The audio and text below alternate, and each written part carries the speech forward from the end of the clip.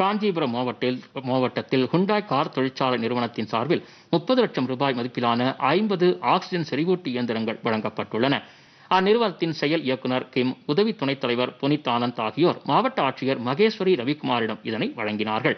ஸ்ரீபெரும்புதூர் சிப்கார் தொழிற்பேட்டையில் செயல்பட்டு வரும் Hyundai car தொழிற்சாலை கொரோனா நோயாளிகளுக்கு சிகிச்சை அளிப்பதற்காக பல்வேறு உதவிகளை அளித்து வருவது குறிப்பிடத்தக்கது.